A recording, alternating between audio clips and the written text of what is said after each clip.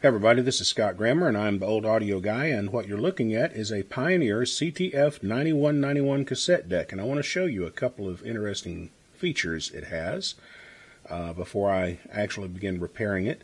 Uh, this unit is here because it will not rewind or fast forward correctly. Uh, that is the complaint. I actually haven't gotten as far as checking it out.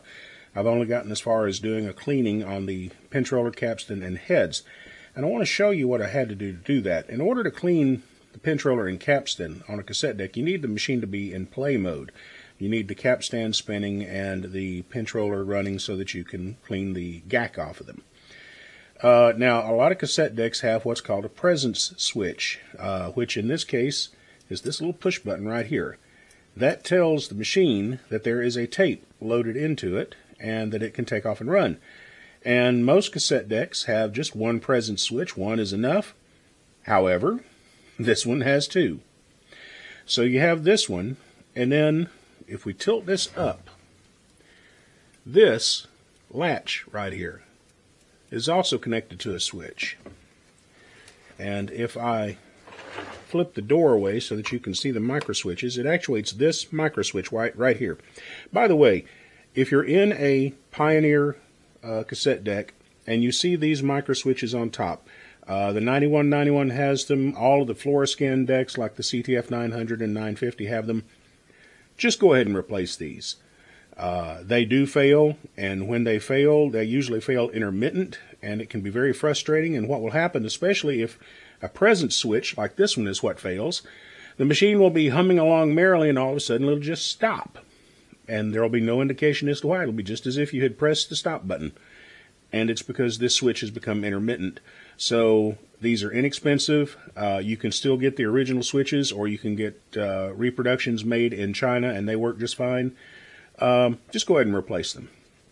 So anyway, back to the presence switch. Not only do you have to press this in and hold it, but you have to reach in here and push this up before it will go into play. Now once you do that, you can release this presence switch, the one that I showed you first, that one. But if you let go of the other one, that's what happens. So there's that. I want to show you one other thing. If we rotate it around, here's the power transformer. Now if you notice the power transformer is set at an angle. It's not parallel with the back panel. It's set about 5 degrees off. And there's a reason for that.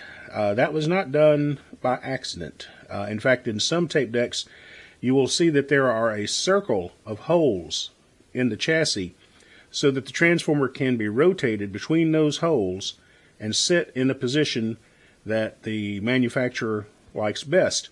And there's a reason for all of that, and that is that the power transformer, as you might imagine, radiates a magnetic field, which the head of the tape deck can pick up, and it will reproduce it as hum through the speakers. But this magnetic field has certain null points, certain nodes where there is almost no radiation.